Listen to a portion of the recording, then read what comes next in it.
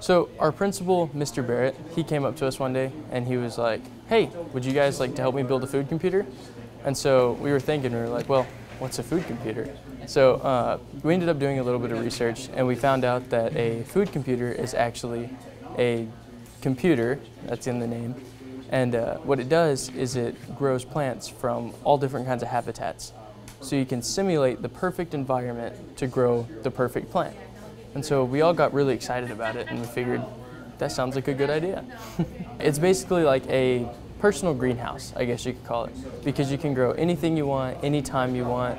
You can control everything. You can control the chemicals that are in the water, you can control the air pressure, you can control everything. This, uh, this was primarily an initiative out of MIT, and uh, we thought uh, it would be a good opportunity to bring a technology that is so agricultural based to West Texas and uh, build it out and see if we can scale it to uh, much larger capacities and uh, actually begin growing food. Plains Land Bank wanted to get on board with that because, you know, as, as you look at agriculture, the world population is increasing, the uh, amount of arable land is decreasing, water is becoming a more scarce resource, and any new idea that, that, that, that comes up needs to be investigated, and we thought this was one of those ideas.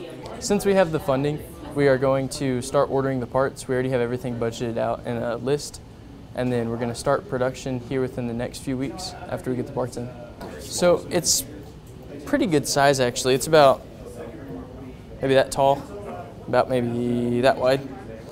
It's about, it can grow probably a full-size tomato plant, if not a little bit smaller. Our plan is to grow some lettuce, some tomatoes, um, onions, maybe some carrots, and make a really good salad. I, foresee uh, where uh, AACAL can be instrumental in building the first units, and then we can move forward with other school systems within the region. And uh, they can build their own food computers and put them in science labs and, and uh, study uh, uh, botany and plant science and, and climatology with them. We plan on finishing version one by the end of the semester. And then after we complete version one, we're gonna start modifying a few things, see things that'll work, see things that don't work, and get a improved final model.